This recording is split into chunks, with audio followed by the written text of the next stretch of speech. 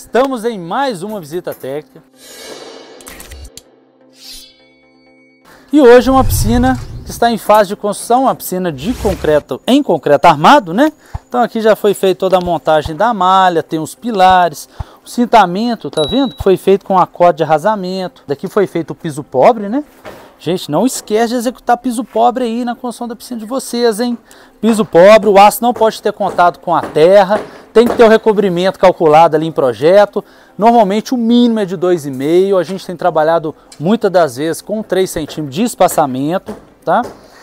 E aqui é o seguinte, gente, essa piscina é uma piscina que ela possui de tudo. Aqui onde eu estou é o spa, tá? Então aqui é um spa, aqui vai ter uma sauna, essa borda desse lado é uma borda que vai ser em balanço. Essa piscina ela tem, gente, um, os degraus de acessibilidade aqui. Degraus de acessibilidade que serão executados nessa parte. Aqui já é em suspenso. Então aqui de baixo é a casa de máquinas. Vou lá mostrar para vocês. Aqui tem a praia.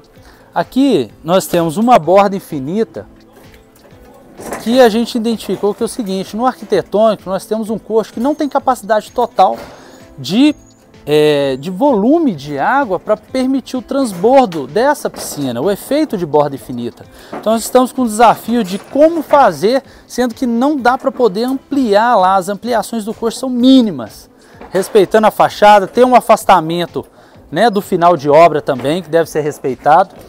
E aí a gente está pensando em um local para poder colocar uma caixa de captação e não só isso, né, essa caixa que ela vai captar e ainda vai ser ali o reservatório para trazer o efeito da borda infinita, esse derramamento todo precisa vir por tubulações e entrar por gravidade dentro dessa caixa d'água. Para vocês ficarem ligados aí no tipo de borda de piscina, então a borda infinita é essa daqui, ó, né, inclinada, né, normalmente nesse sentido.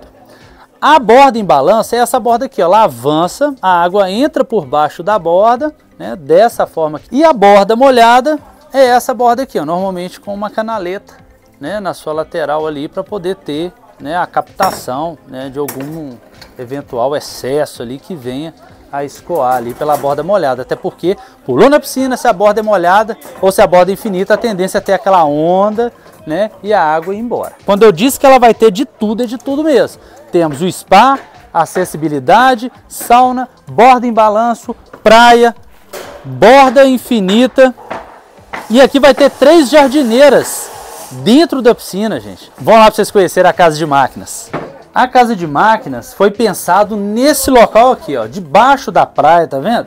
Bom que aqui nós temos um pé direito confortável, gente. Olha que maravilha, ó. Oh, beleza!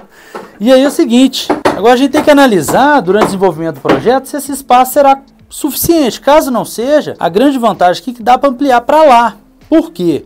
Porque a laje inteira da casa é suspensa, né? Então existe, existem cômodos que são perdidos, né? Então dá para poder fazer um corte ali, abrir e acessar, né, do outro lado. Então aqui a ideia é fazer o posicionamento das bombas, né? Nesse sentido, aqui uma porta ventilada, normalmente veneziana, né? Os pontos de infra dá para acessar facilmente, o nível da rua tá ali, então aqui tá bem tranquilo. E aí, o que, que, vocês acharam desse vídeo? Espero que vocês tenham gostado, obra legal, hein? Se inspire nessa obra, tem muita coisa bacana nesse projeto. Deixe seu like, um forte abraço e até a próxima!